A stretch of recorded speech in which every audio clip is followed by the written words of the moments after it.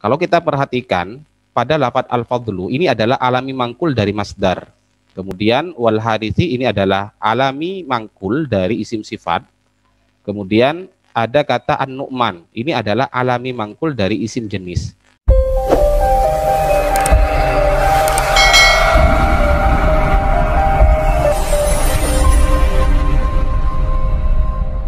Assalamualaikum warahmatullahi wabarakatuh. Jumpa lagi di channel ngaji online, mengkaji dan berbagi para sahabat sekalian. Pada video kali ini saya coba untuk melanjutkan dari pembahasan ngaji alfiah, yaitu kita akan membahas mulai dari bait 109 sampai 112, yaitu bab al-mu'arrafu bi adat ta'rif. Pada pertemuan sebelumnya kita sudah mengenal bahwa ada yang namanya al-ma'rifat, ada juga al yang disebut dengan al zaidah yang mana al zaidah dibagi dua macam. Ada zaidah lazimah yaitu al yang masuk pada al lati misalnya. Kemudian ada yang wairu lazimah.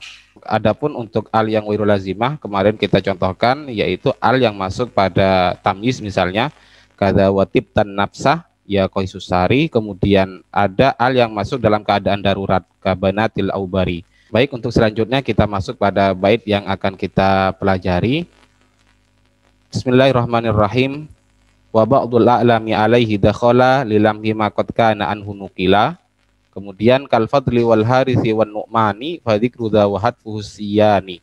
Wa qad yasiru alaman bil ghalabah mudhafun aw mashubu al kal aqabah.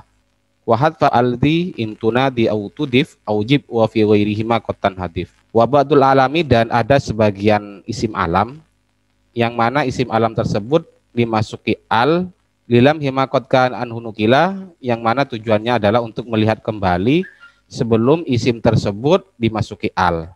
Adapun contohnya adalah kal fadli wal harithi wan nu'mani yaitu lafat al fadlu al harithu an nu'manu. Fadik ruda maka adapun menyebut al wahadfuhu dan membuang al siyani yaitu sama. Waqad yasiru alaman bil ghalabah mudhafun aw mashubu al kal aqabah.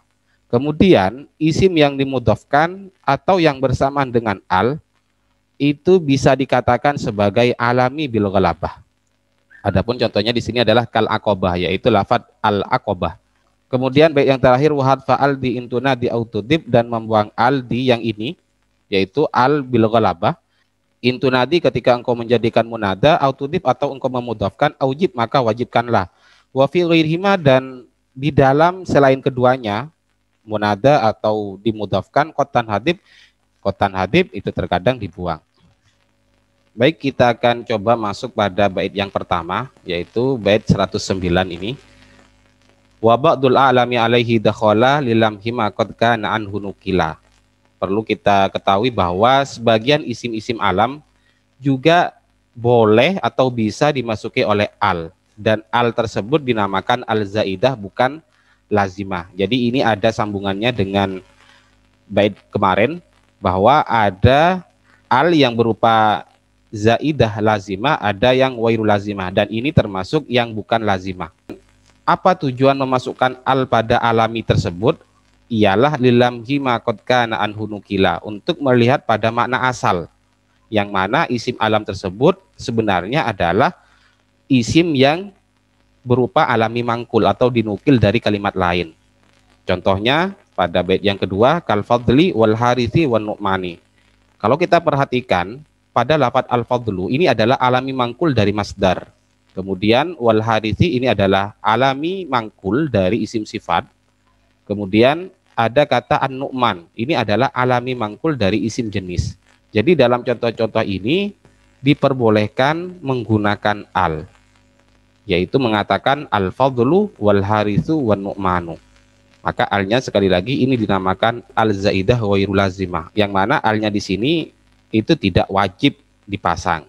Dan bahkan kita ketahui bahwa sebenarnya nama atau alami itu tidak diperbolehkan menggunakan al. Sehingga sehingga Ibnu Malik itu mengatakan wabadul alami yaitu hanya sebagian saja. Dan itu terbukti nanti ada beberapa alami mangkul yang memang tidak diperbolehkan. Contohnya adalah yazidu. Itu mangkul dari fiil mudhari. Maka tidak boleh kita mengatakan al yazidu Kemudian yashkuru misalnya, kita tidak boleh mengatakan al yashkuru walaupun itu nama orang. Maka perlu saya sampaikan bahwa alami selain alami mangkul itu tidak diperbolehkan bersamaan dengan al. Misalnya adalah alami murtajal. Contohnya su'adun. Kita tidak boleh mengatakan as-su'adu. Jadi itu yang dimaksud wa ba'dul a'lami alaihi dakhala lilam hima qad kana anhu nukila kal fadli wal harithi wan nu'mani fadik rudha wa siyani. Maka jika demikian di sini ditegaskan oleh Ibnu Malik fadik rudha wa siyani. Jadi lafat siyani ini adalah isim tasniyah dari sawaun menjadi siyani. Menyebutkan atau memasang al atau membuangnya, membuang al itu sama sebenarnya. Jadi dipersilakan untuk dipasangi al, mengatakan al-fadlu, atau kita mengatakan fadlun, atau harithun. Jadi itu yang dimaksud fadik ruda wahat fuhus siyani. Kemudian pada bait ini waqad yasiru alaman bil ghalabah mudhafun aw masubu al kal aqabah. Di sini terkadang menjadi alami bil ghalabah. Jadi ghalabah itu secara harfiah artinya adalah menang. Maksudnya apa? Di sini adalah khusus nama tertentu karena mengalahkan nama-nama lain yang serupa. Jadi ini maksudnya adalah ada sebuah nama yang mana nama tersebut mempunyai makna umum, namun karena di sini sudah dijadikan alami bil ghalabah, maka dia tentu pada satu orang atau satu tempat. Itu caranya bagaimana? Mudhafun au masubu al. Itu dengan cara dimudhafkan. Contohnya adalah Ibnu Abbas. Jadi dia dijadikan susunan idhafah. Maka ketika kita mengatakan Ibnu Abbas, maka tentu pada pamannya Rasulullah SAW, tidak pada yang lain. Itu yang dimaksud dengan alami bil Walaupun Ibnu Abbas ini sebenarnya mempunyai makna umum yang bisa dipakai oleh orang lain. Kemudian cara yang kedua adalah mashubu al, yaitu menggunakan al. Maka alnya dinamakan al-ghalabah. Contohnya adalah al-aqobah. Maka ketika kita mengatakan al-aqobah itu khusus pada sebuah nama yaitu nama jalan di Gunung Mina, tidak pada yang lainnya. Kemudian contoh yang lain adalah Al-Madinah. Sebenarnya Madinatun itu mempunyai arti kota. Namun ketika kita mengatakan Al-Madinah, maka yang dimaksud adalah Al-Madinatul Munawwarah atau kota Madinah.